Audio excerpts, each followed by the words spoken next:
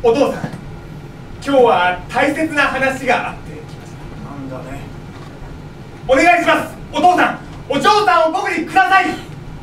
ということが今後あると思います。えその練習をさせてください。えちょっと待って。いいよ。いいのかよ。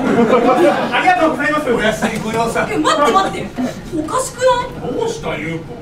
今日は結婚の許しをもらおうって話だったじゃん。何言ってんの？いやもちろんそのつもりだったんだけどぶっちゃけビビった。えああビビるよねわかる。えマジっすか？お父さんもわかりますわかるわかー、いやるそんだけフランクなやり取りできるならビビることなくないそういうことじゃないんだよ。なあ守君まあ男心は難しいですからね。あれ？私がおかしいのかな？いや私もね妻との結婚の許しをもらえた時めちゃくちゃビビっちゃってさ思わずおしっこ漏らしちゃったもん何やってんの？ねすごく怒られたけど許してもらえて。えそれ怒るよ。あ許してもらったってのはあれだよ。結婚だよおしっこのことは死ぬまでに思ったからねお前のおじいちゃん。いやむしろよく結婚を許してもらえたよ。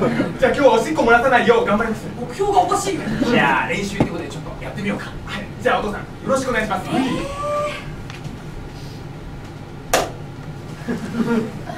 ですからお願いします。お父さんお嬢さんを僕にください。君にお父さんと呼ばれる筋合いはない。今までガンガン呼ばれてパパパパお嬢さんを僕にください。いいよ。ダメだよ。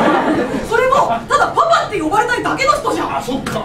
守君も呼び方変えればいいって問題じゃないから。じゃあ何を変えればいいの？うん強いて言うなら心構えだな。じゃあ守君。もう一回最初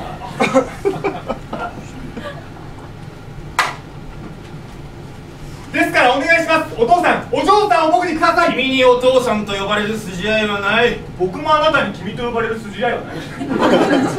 ダメかなうん。逆に何がダメじゃないと思う？いや私は結構いい感じだと思ったんだな。どこが？一触即発だって。ああいうピリッとした空気お父さん好きだな。ゾクゾクしますよね。ゾクゾクすんな。結婚の許しをもらう練習だ。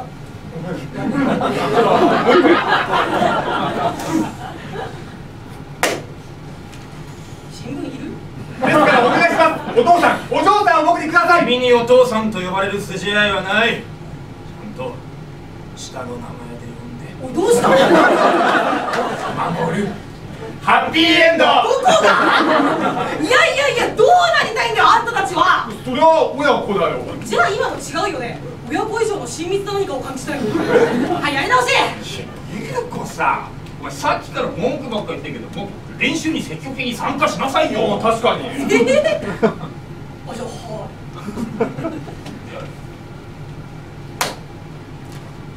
ですからお願いします。お父さんお嬢さんを僕にください。君にお父さんと呼ばれる筋合いはない。いちょっとそんなこと言わないでよお父ださん。からお父さんって呼ぶなって言ってんだろ。私はよくな。い守君にダメだと言ってる以上。お前んだけお父さん呼ばわり許すわけお父さん夜代わりって何お父さん禁止ルールは必要なの。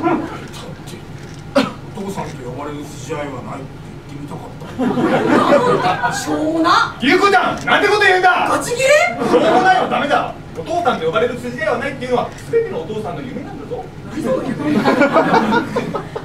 そこまで父親の気持ちを理解してくれるなんて。もはや君がお父さんだよ。お父さんではねえよてかごめん。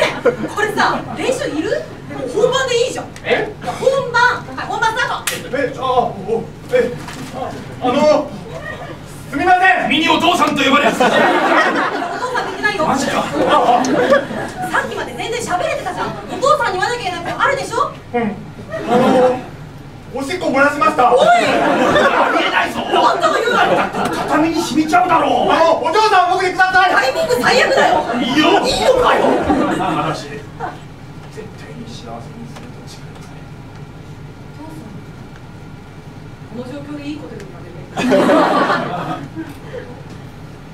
しっこのことは一生許すつもりないからな。ごめん今の全部練習ってことにしよう。